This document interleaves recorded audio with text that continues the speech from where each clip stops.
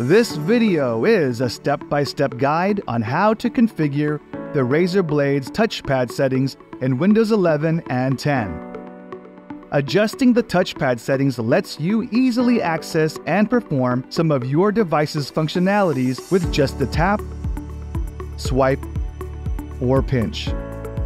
To access the touchpad settings, click the search icon on your screen and type Touchpad Settings. Select Touchpad Settings. Click the toggle button for touchpad to turn it on or off. Click the arrow beside the toggle button to see other touchpad settings. Tick the box if you want to keep using the touchpad when a mouse is connected.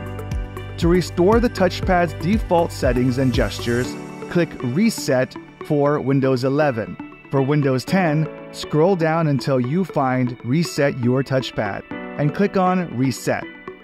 Under Gestures and Interaction, adjust the slider to set your preferred cursor speed. Click the arrow for taps to expand the options. Set the touchpad sensitivity by clicking the drop down menu next to it and choosing your preferred sensitivity. Select the tap settings you also want to use.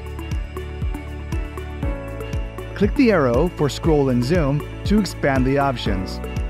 Choose whether you want to enable or disable drag two fingers to scroll and pinch to zoom and then set the scrolling direction. Click the arrows for three finger gestures and four finger gestures to expand the options.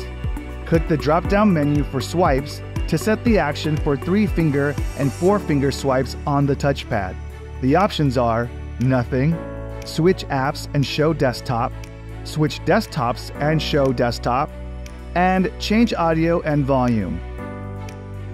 Click the drop down menu for taps to set the action for three finger and four finger taps on the touchpad. The options are Nothing, Notification Center, Play, Pause, and Middle Mouse Button.